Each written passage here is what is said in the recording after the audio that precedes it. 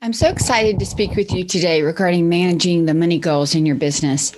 On our last podcast together in episode 138, we discussed the five main money goals that needed to be established in your firm. Now we're going to talk about how and when to manage them.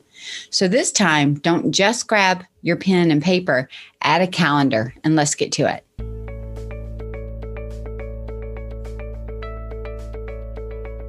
Every day, empowered entrepreneurs are taking ownership of their company financial health and enjoying the rewards of reduced stress and more creativity.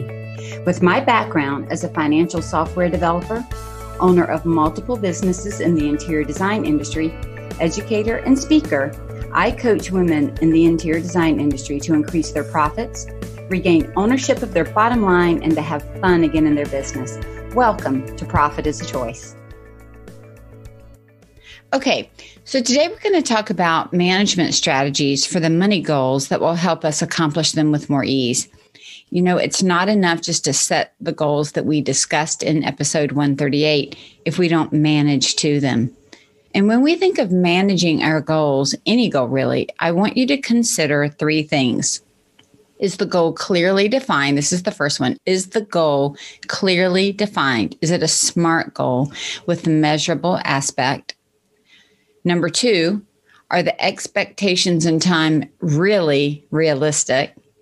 And number three, is it easy to measure and to notice or see the results? Because if those three things aren't true, then it may be that we're setting a goal that's either not measurable, one that's not realistic, or one that is so cumbersome to measure that we won't do it.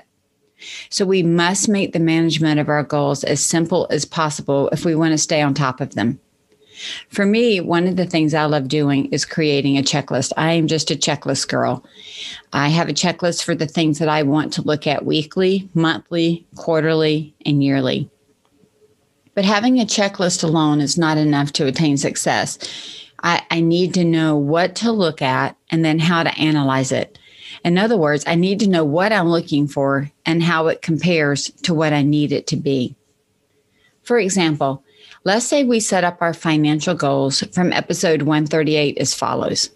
We have a total income of $100,000.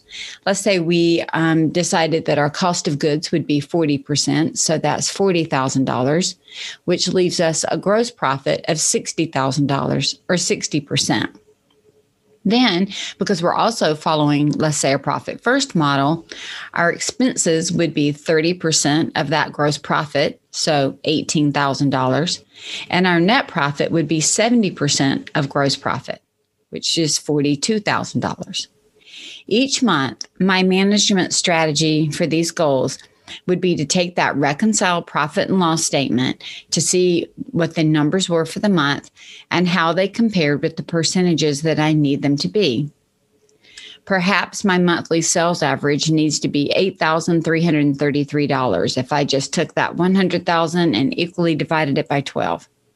So then I'm going to compare how much I brought in that month. Is that the amount that I made in total income or that my firm earned?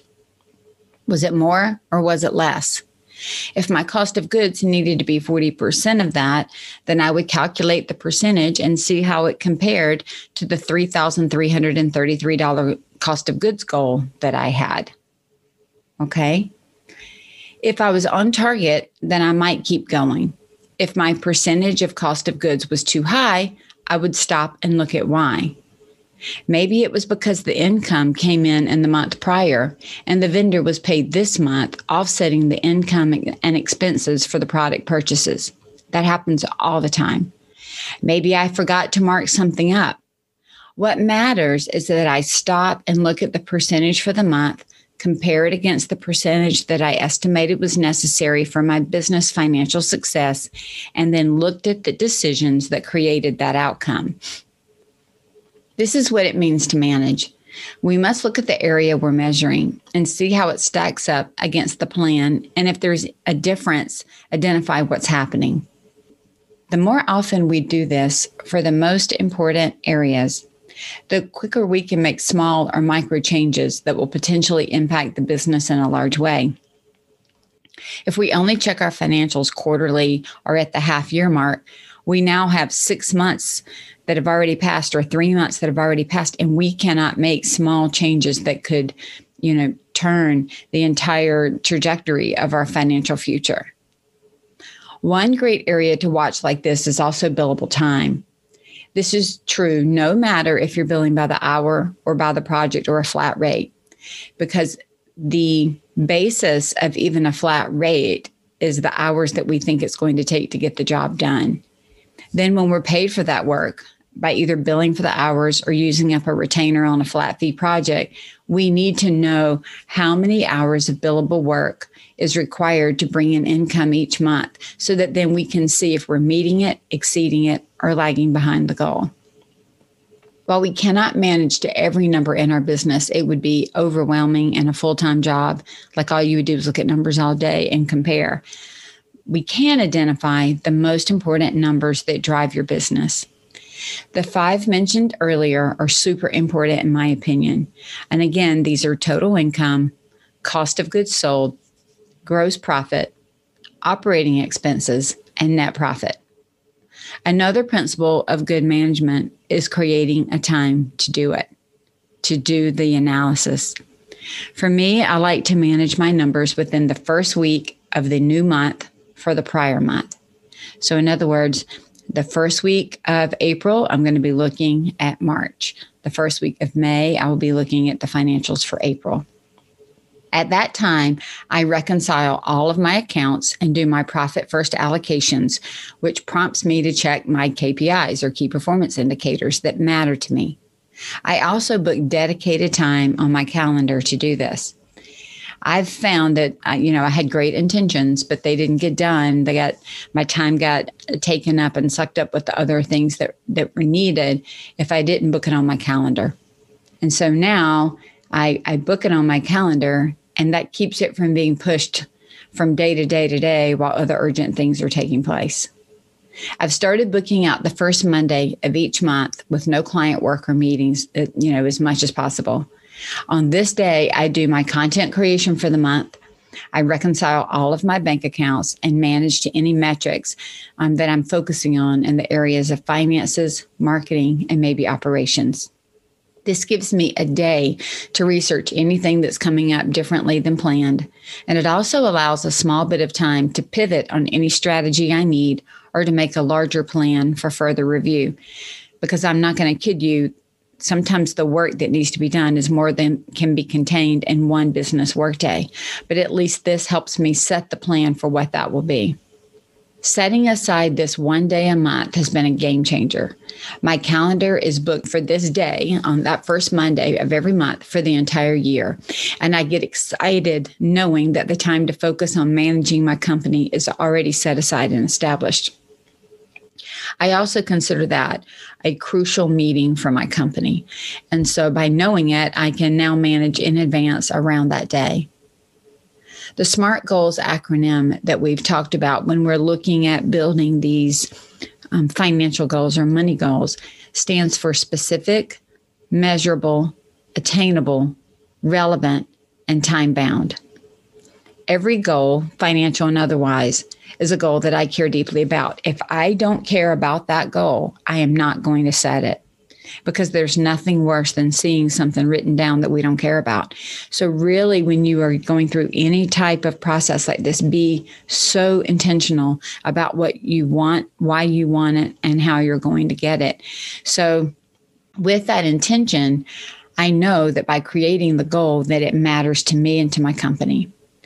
Every goal I set needs to be managed, which means checking the outcome against the metric and timeline to achieve it. If you find that there was a number of goal that you thought was important at one time and it no longer is, that's okay. Just let it go. There are times when I want to manage one area of my business in detail. And then after I finish that, it's not as big of a concern. Here's, here's just a, a lighthearted example. When I first started my podcast, I was managing and measuring how many listeners I had, how many followers, how many downloads almost daily at the beginning. And after a while, it moved to weekly and monthly. And now I randomly check it. not because I don't care, but because the feedback I get is that I'm reaching the right people, you, um, that you're listening. And I just don't need to do such a detailed check in day to day today. You may find the same thing in your firm. Everybody needs to start somewhere. So, my suggestion is to start with looking at these five big financial numbers because, as you can see, each of them tells a story. Your total income tells the story of how your billable time translates into income. It also tells the story of how much product you've sold. So, just setting a goal and then breaking it down into sub goals is a lot of information that can lead you down the path of managing billable hours and product sales. Cost of goods is the number that is going to tell you how much of the sales price is going to be paid out to the vendor and not usable income for your company to run. By knowing this number and comparing it to gross profit and product income, you will immediately know your profitability by product type, and you'll be able to analyze your markups and margins to see which categories are the most profitable for you. Gross profit is a number that will show you what your company is really worth. And this number will indicate to you if you have enough to run your firm. Managing to gross profit will help you know if you can sleep at night without added stress. The operating expense number will show you overall how much your company eats up in profits. And like other categories, it can be broken down so that you know the percentage needed for payroll, rent, marketing, and other expense types. Managing to these allows you to create a budget that, when managed, gives you even more information, as well as freedom and stress relief. And then managing the net profit allows you to see how much profit is in the company after expenses are paid. And this number can also be broken down into areas such as bonus, profit, owner's distribution, taxes, etc. These numbers do not have to be scary. Knowing them and their relationship to each other, and, and that the decisions that you're making around them actually becomes empowering. Every day, you and your team make decisions that affect these numbers. So instead of being managed by the business, it allows you to manage the business. If you're looking for the fastest way to begin, do this. Number one, identify the main numbers that you want to manage and create the metrics around that and the timing to check it. Number two, put time on your calendar to do the analysis.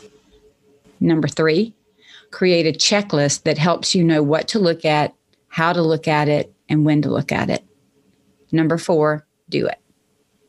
As you progress, you'll get faster, and then you're going to identify more areas to manage and inspect you will learn to establish your own rhythm, the rhythm that works for your firm. This is a great reminder time that we get what we inspect and not what we expect. So, inspect what matters to you and to your firm when it matters most.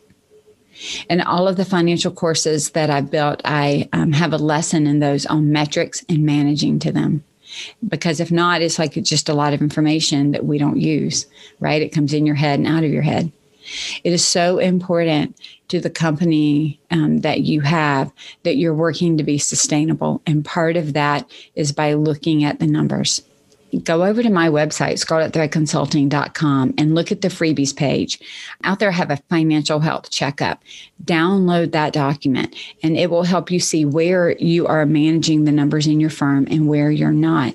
See which numbers you know and which ones you don't and then create a plan to support your company by reviewing your numbers. Managing to the numbers can lead to profit, and profit doesn't happen by accident. Profit is a Choice is proud to be part of the designnetwork.org, where you can discover more design media reaching creative listeners. Thanks for listening and stay creative and business minded.